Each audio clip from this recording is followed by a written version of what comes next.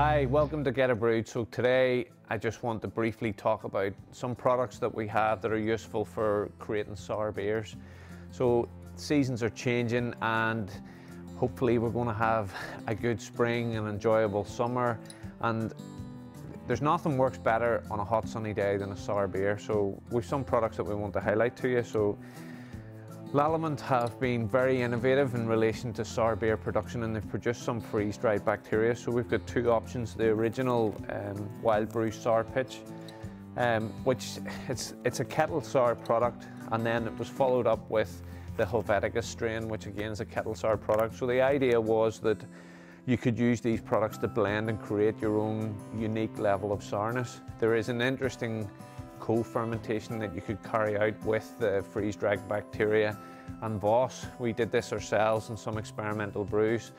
Voss is a Kveik yeast which is fermentable at really high temperatures so the freeze-dried bacteria works perfectly well at 38 degrees so one thing that we tried was we took a co-fermentation. We added the bacteria to the fermenter with the Voss yeast and fermented it at 38 degrees. Now both of these uh, sour pitch freeze-dried bacteria aren't very tolerant to IBUs in, in the sense of hops. So if you're adding more than five IBUs of hops after fermentation is complete, that you could be confident that that will kill the bacteria and prevent any risk of cross-contamination with other beers.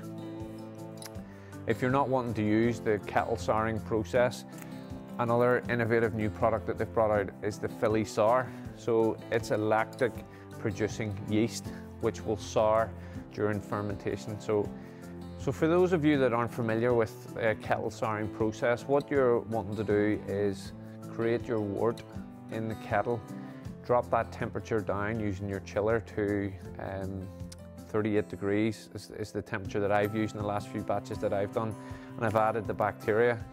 Um, so you, you might want to pre-adjust the pH to bring it within that tolerance level and then um, add the bacteria and what will happen there at that stage is these products sour the wort and drop the pH really quickly within 24 hours.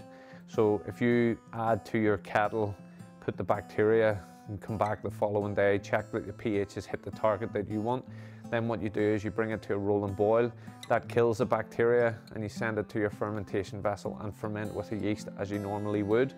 Now you can do some really unusual um, co-fermentations or use some really unusual yeast to create some unique flavours after the souring process has taken place. So in relation to dosage rates, one 250 gram packet will cover 25 hectolitres and one 10 gram packet will cover a hectolitre. So if you need to add a mixture of homebrew sachets or commercial sachets, vice versa, um, there's no issue with that. These are all available on the website now. We have these products available in bulk. We have them on stock. We're ready to express ship them to you in your brewery now. And for the homebrew community that work with us, we have them in homebrew sachets for both the freeze-dried bacteria and the um, Philly Sour lactic producing yeast. Thanks so much. Until next time, happy brewing.